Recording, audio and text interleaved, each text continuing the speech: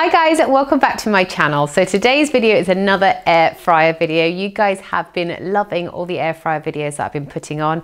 So I thought today I would show you a couple of really weird things that you can cook in the air fryer that you might not have thought about before. If you're watching this video and you're new to my channel, I would love for you to hit that subscribe button down below. I post loads of different videos just like this one. And as the weather's getting cooler now, I'm going to be posting more weird and wonderful things you can cook in your slow cooker as well. So if you like that sort of thing, then I would love for you to stick around. So before I get into the things you can cook in your air fryer, I just thought I'd quickly run through the air fryer that I've got and how I clean it as well. I will link my air fryer and a couple of other options as well down below in my description box. Everything that I'm going to link, all of their features are pretty similar to the one that I have got. I've got a 5.5 litre air fryer and I would definitely recommend sticking with the larger one because once you start cooking in this, you're gonna want to cook absolutely everything in here, I promise. Since buying my air fryer, I have also invested in this little accessory pack. This was from Amazon. I'll link it down below in my description box and it's great. It comes with so many different parts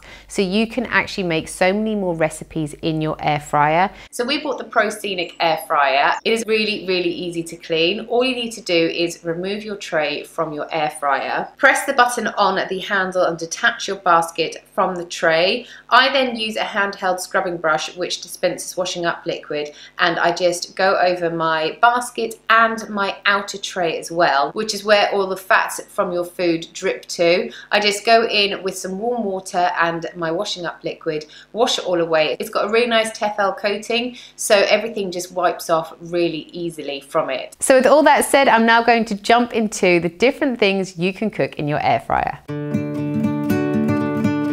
Firstly, I'm going to show you how to make hard-boiled eggs quick and easily in your air fryer. Okay, so to make your hard-boiled eggs in the air fryer, you're just going to need some eggs and then a bowl of ice water as well. This method works if you cook one egg or if you want to cook 10 eggs as well. You just want to place them in a single layer on the bottom of your air fryer basket. You want to set your air fryer to 120 degrees centigrade and then depending on how you want your eggs, you want to set them for eight minutes to have soft eggs 10 minutes for medium eggs and 12 minutes for hard boiled eggs. We are going to go for hard boiled eggs today. So I set my air fryer for 12 minutes on 120 degrees centigrade. Once 12 minutes is up, you then want to take your eggs straight out of your air fryer and put them into your ice cold water. This is going to stop the cooking process straight away. Once they're nice and cooled down, you can then peel them. And as you can see, they have come out perfect hard and delicious.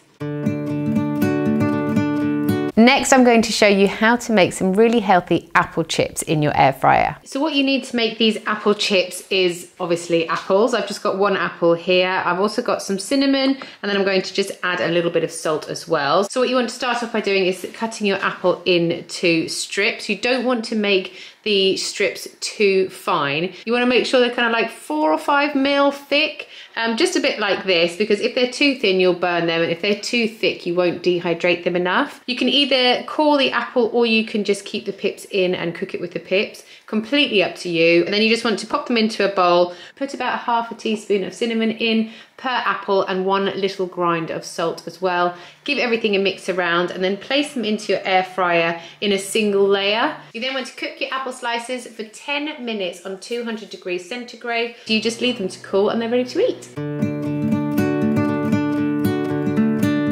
Next up, I'm going to show you how to make air fryer mac and cheese. This is honestly a real thing. And to make this, you want to use one of your accessory parts that I showed you in the intro. The ingredients you'll need for making mac and cheese in your air fryer is some macaroni pasta, You'll also need some milk. It can be skimmed milk because full fat milk sometimes it makes it a little bit too thick. And then I have also grated some cheese here as well. And then what I have done is this is just like a sort of like going off piece of bread. It's a little bit hard. So I've just put it in my blitzer and I've blitzed it up. This is gonna be my kind of like crusty topping. So what I'm gonna start off by doing is putting some macaroni into this deep based pan that I got in my accessory kit. And I'm going to pour in enough milk to cover the pasta and I will also add half of my cheese as well. I will mix everything together and pop that into my air fryer on my chip setting, which is 204 degrees centigrade for 18 minutes. After about six minutes of it cooking, you want to take the mac and cheese out and stir it around pop it in for another six minutes and give it another little mix around.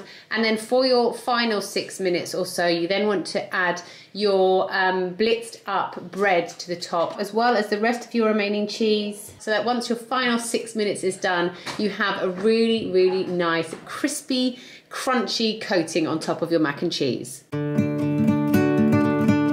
Next up, we're going to be cooking some delicious loaded nachos in our air fryer. The ingredients you're going to need for these nachos are some tortilla crisps. You're going to want to get some black beans. These are optional if you want them or not.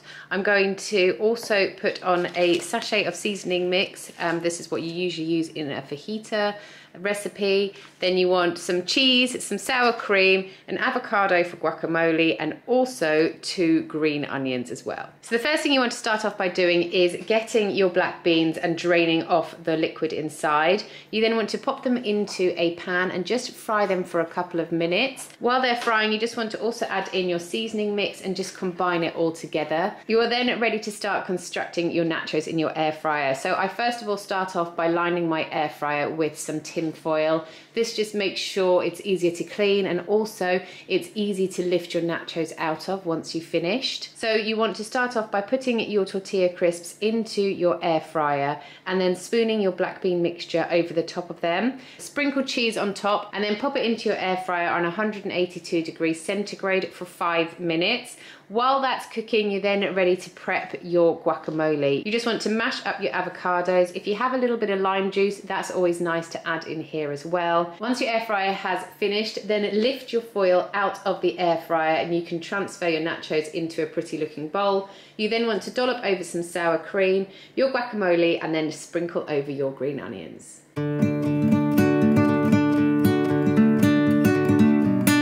Now I'm going to show you how to make a really easy Victoria sponge. So what I've got in this mixing bowl is 200 grams of plain flour, 200 grams of butter, 100 grams of caster sugar and four eggs, as well as a little splash of milk too. I'm using self-raising flour, but if you use plain flour, just maybe put in a little teaspoon of baking powder as well. You need to just whisk this all up until it becomes a nice smooth consistency mixture. And then you want to put it into this deep pan. This is one of the things I got in my accessory pack and it's just perfect for a cake. You don't need to grease this because it's already non-stick. So you just want to pop your cake mixture into here and then you want to put it into your air fryer for 15 minutes on 180 degrees centigrade.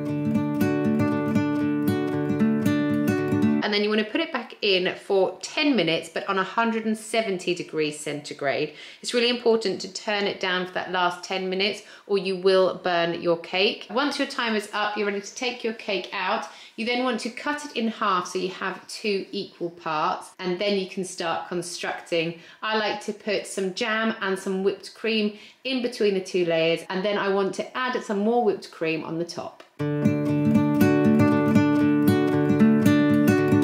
Next up, we're going to cook some chocolate chip cookies. The ingredients I've got in here for my cookies is 150 grams of butter. I've got 80 grams of sugar. I've got brown sugar in here. I haven't put any more um, sugar in there because I always like to put a little bit less in my cookies. I have got two teaspoons of vanilla extract, one egg, 225 grams of plain flour and I've got a little bit of salt and then I have also got 100 grams of dark chocolate chip cookies to put in after so I'm going to blitz up this mixture and once this mixture has been blitzed I will then add in my cookies and then mix those through with a spoon instead of the um, beaters. And then you just want to line your air fryer with some foil or I have got these little mats. These are non-stick mats that can go in the oven and they can also go in your air fryer. So I will be using those to just line my air fryer like that and then I will just spoon my cookie dough mixture into here in little balls and then I'll put them in the air fryer on 180 degrees centigrade for eight minutes.